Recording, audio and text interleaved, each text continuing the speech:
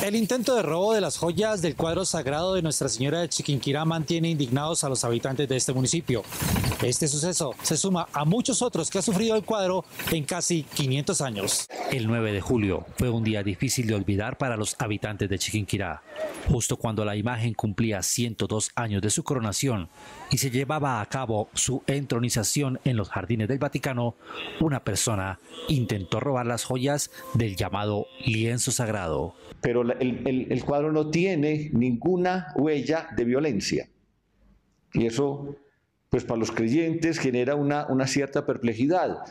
Porque si el tipo arrancó las joyas, se apoyó sobre el cuadro, se colgó de él, sin embargo el cuadro no se dio. Pero a pesar de que Nuestra Señora del Rosario de Chiquinquirá está despojada de sus, de sus joyas, para nosotros la reina es la reina y ella sigue siendo reina con o sin corona. El manto fue rescatado por una mujer en el siglo XVI para luego recuperar sus colores de manera milagrosa.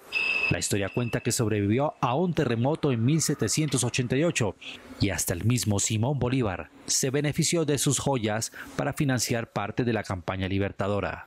El lienzo sagrado de la Virgen de Chiquinquirá continúa ahí, en su camarín, ahora sin sus joyas, y está a la espera de que se extremen las medidas de seguridad para que hechos como el del 9 de julio no se vuelvan a repetir.